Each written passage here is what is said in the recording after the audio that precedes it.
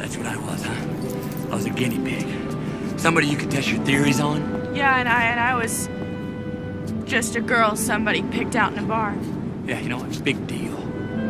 Hell, I'm sure now you can even use it as a little twist in your story. It's a good idea. Maybe we should bet on it.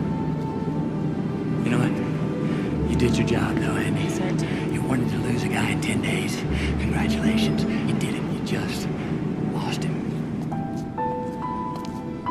I didn't, Ben.